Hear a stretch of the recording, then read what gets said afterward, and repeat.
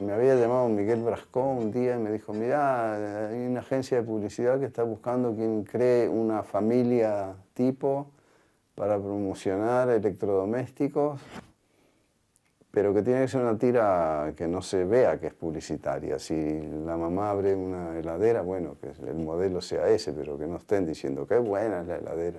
Fui a hablar con la gente de la oficina esta, me atendió Norman Brisky, que trabajaba ahí. ¿En qué empresa? Agens Publicidad.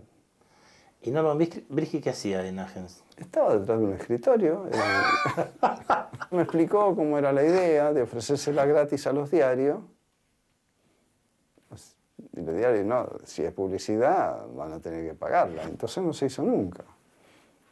Ahora, tampoco salió la marca Mansfield como heladera ni nada, ¿no? Nu- Nunca me enteré qué pasó. Pero la cuestión es que me quedaron 10 o 12 tiras ahí y un día Julián Delgado me dijo, che, porque los dos trabajábamos en Tía Vicenta juntos también.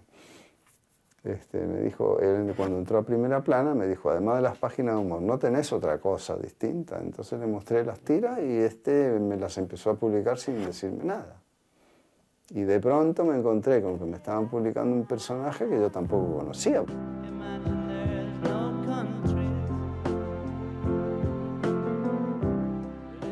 Las llevó a primera plana y les gustaron. Y un día me encuentro con que han publicado dos- en un número dos tiras y al otro número otras dos. Y después, ¿Ya te quedaban seis? Sí. O sea, te Y me tuve que poner a, a continuarla. Y entonces, bueno, ahí fue cuando me planteé cómo va a ser este personaje, qué, qué hago. Y se me ocurrió que ese mecanismo de que, bueno, una nena que va a la escuela y le dicen hay que ser bueno, no pelearse con nadie, qué sé yo, pone la televisión escucha la radio, mira el diario y ve que los adultos hacen todo lo contrario. Y entonces el mecanismo fue ese, hacerse preguntas que uno se las hace uno y nadie te, te contesta esas preguntas.